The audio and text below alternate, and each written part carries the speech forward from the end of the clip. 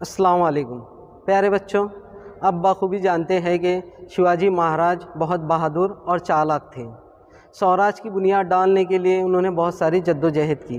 पिछले इसबाब में आपने इस बात का इल्म हासिल किया कि किस तरीके से शिवाजी महाराज को बहुत सारे दुश्मनों का मुकाबला करना पड़ा। इन्होंने अपनी बहुत, इन्होंने बहुत चालाकी से उन दुश्मनों को शिकस्त दी।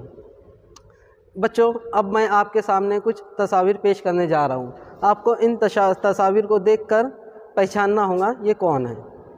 पहली तस्वीर आपके सामने ये रही। वेरी गुड बच्चों, आपने बहुत अच्छे से पहचान लिए ये शिवाजी महाराज है। चलो आइए, अब मैं आपके सामने दूसरी तस्वीर पेश करता हूँ। बहुत खूब बच्चों आपने बिल्कुल दुरुस्त पहचान लिया, ये अफज़ल ख़ान ही है। अब मैं आपके सामने तीसरी और आखिरी तस्वीर पेश करने जा रहा हूँ।